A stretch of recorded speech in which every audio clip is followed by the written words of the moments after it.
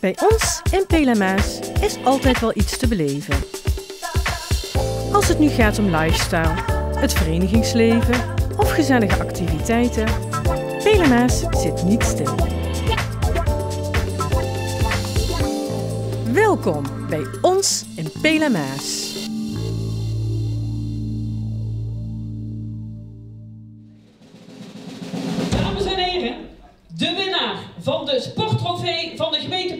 Van het jaar 2015 is geworden Harry de Ruiter. Harry de Ruiter uit Kessel ontving vrijdag tijdens het sportgala de gemeentelijke sporttrofee van Pil en Maas. Vorig jaar bezocht Omroep BNM de Ruiter en maakte de volgende reportage.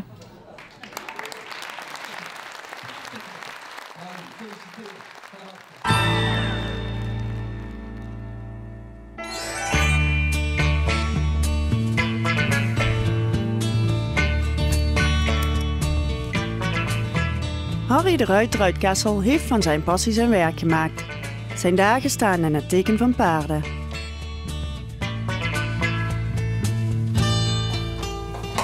Uh, Mijn rol in het dagelijks leven is eh, trainen van uh, menpaarden.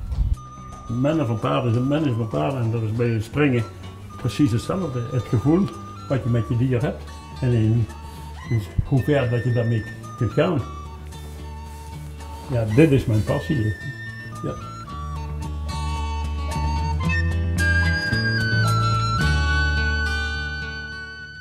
Ik, eh, ik weet niet beter als dat eh, ik met mijn vader eh, naar het land ging. Met, wij hadden thuis trekpaarden en ik, mijn vader deed met de ploeg, de tractor.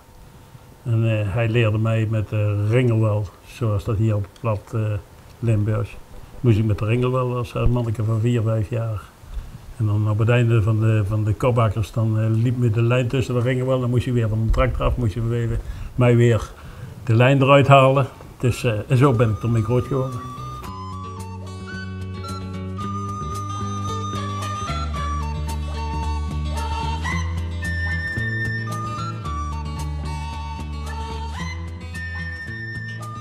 Ik ben daar eh, eigenlijk voor 30 jaar terug mee begonnen. Ik werkte toen op een stal in uh, Moergestel bij Amsterdam. Die had eh, springpaarden, maar ook menpaarden.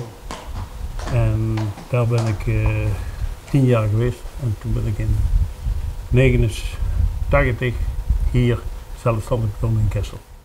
Harry heeft jarenlang op hoog niveau meegedraaid in de menssport.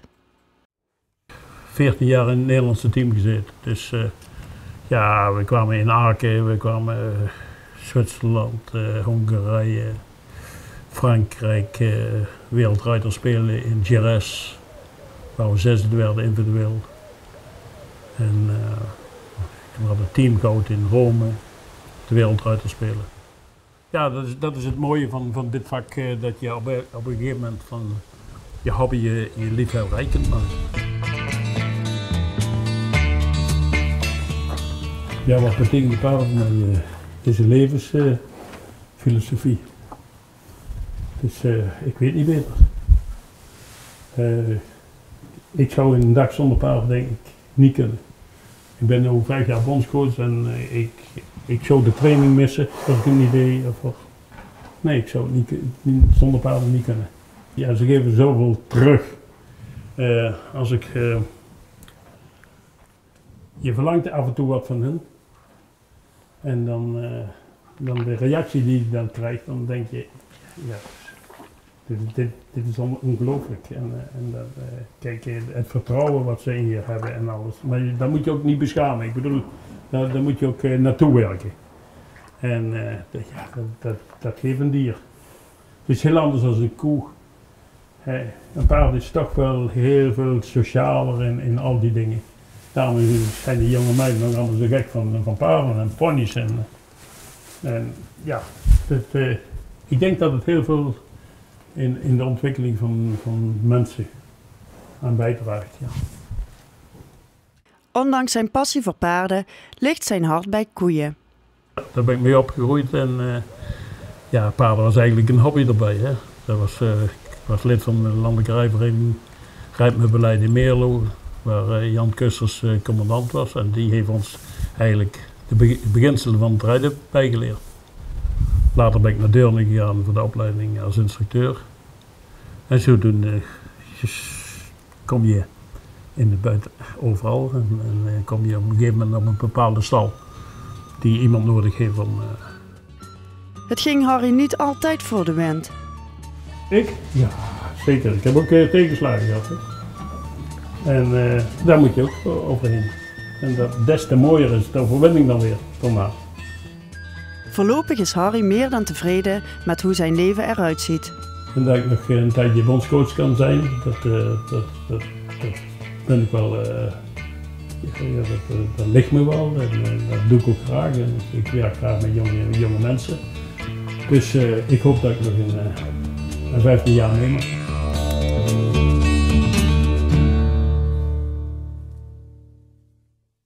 Harry de Ruiter uit Kessel kreeg naast de gemeentelijke sporttrofee ook de bijzondere waarderingsprijs uitgereikt. Vanwege zijn bijdrage aan de paardensport en de menssport. Op dit moment is Harry bondscoach van de 2 en de 4 span. Een verraste winnaar na afloop. Nou, ik uh, doe uh, begeleiden van de Nederlandse 2 en 4 spannen op nationaal en internationaal niveau. Uh, mennen is een tak van sport. voor de mensen die het niet weten, wij spannen het twee of vier paarden voor de wagen. Wij trainen die paarden naar gehoorzaamheid en uh, wij rijden daar wedstrijden mee. En we verwachten van die paarden heel veel succes. En we, we zorgen ervoor dat ze als team met die mannen samen functioneren.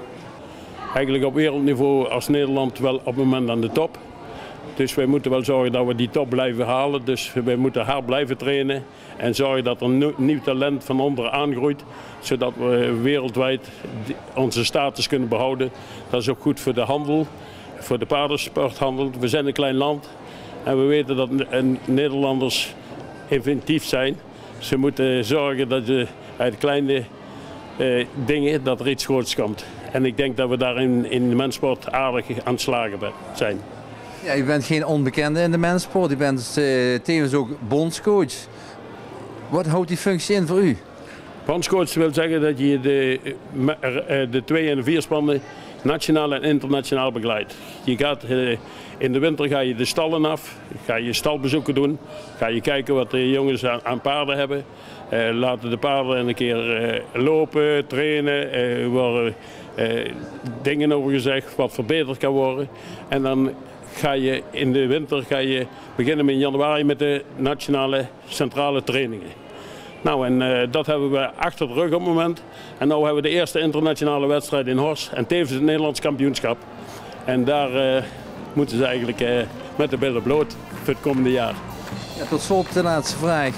hoe is de toekomst van deze mensport?